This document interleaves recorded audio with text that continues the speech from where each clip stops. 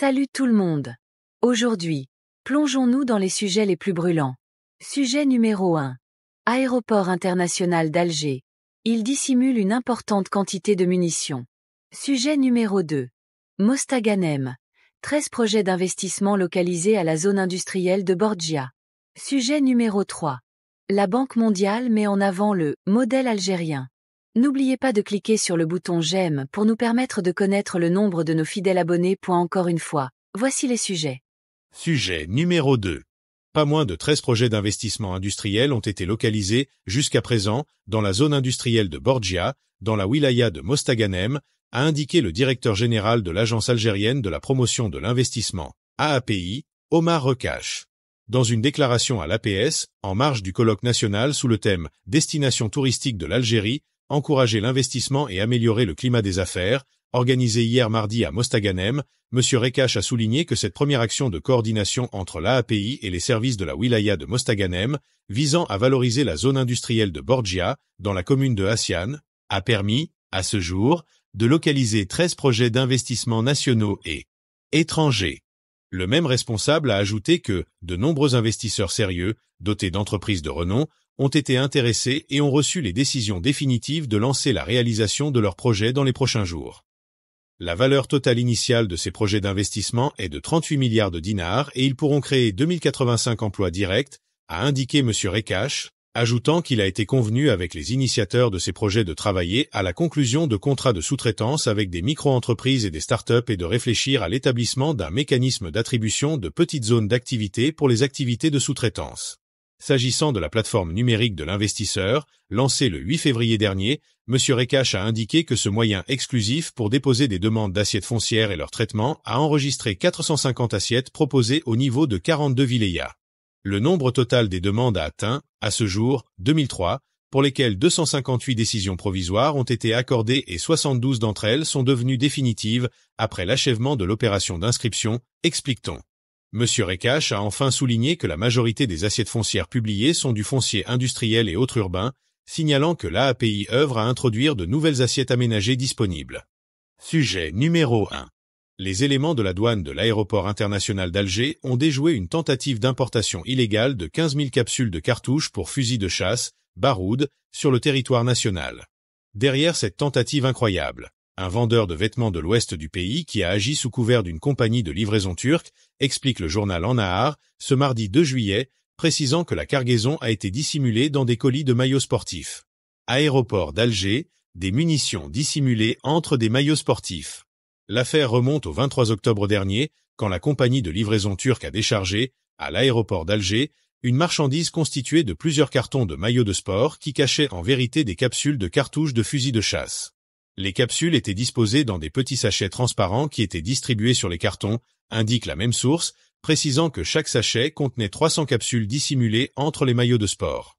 L'expertise de la douane conclut alors qu'il s'agit de munitions de guerre, soit une marchandise interdite que le mis en cause a fait exprès de dissimuler afin de faciliter son entrée sur le territoire national.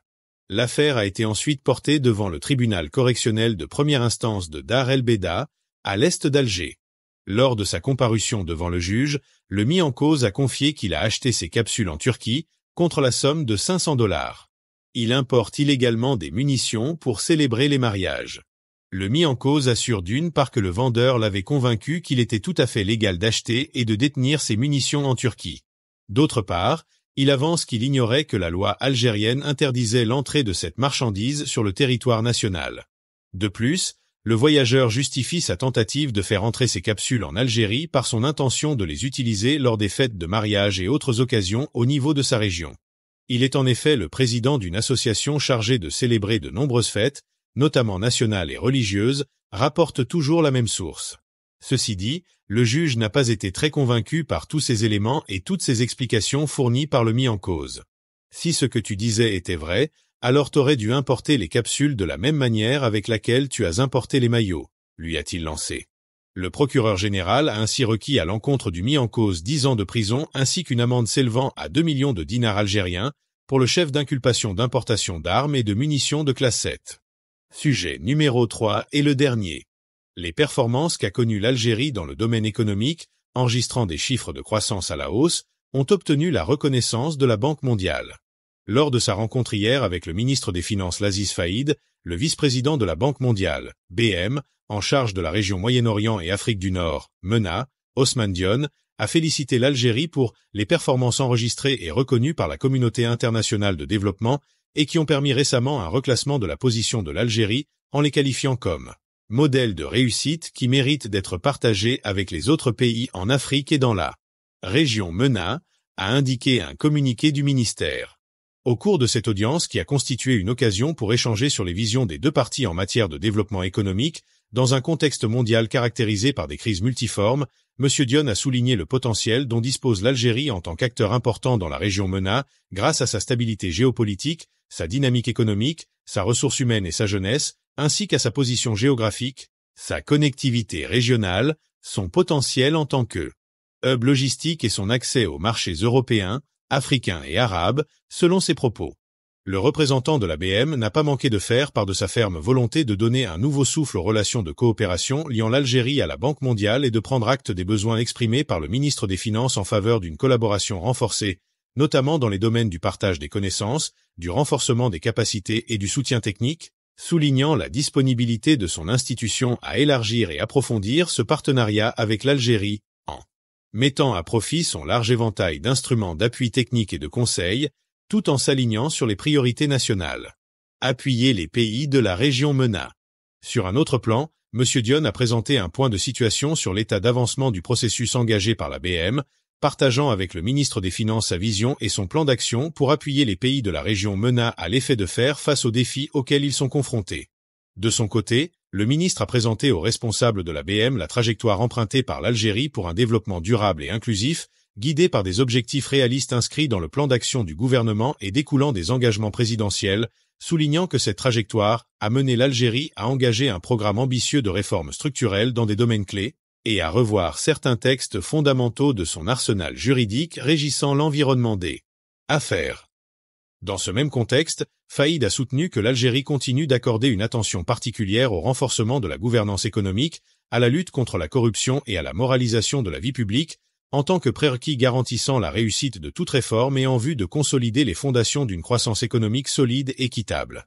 Sur le plan international, Faïd n'a pas omis de mettre l'accent sur le phénomène du changement climatique, lequel est devenu une donnée structurelle à intégrer désormais dans les politiques publiques, a-t-il indiqué rappelant à ce titre les efforts colossaux déployés par l'Algérie à l'effet d'atténuer les conséquences de ce phénomène.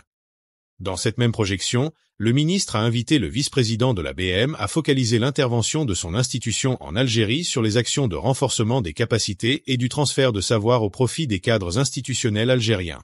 Il est à noter que durant sa visite en Algérie, M. Dion aura à rencontrer d'autres membres du gouvernement ainsi que des représentants d'institutions nationales dans l'objectif de lui fournir une compréhension approfondie des besoins de développement de l'Algérie et des défis auxquels le pays est confronté, ce qui va permettre d'entrevoir des pistes de coopération futures.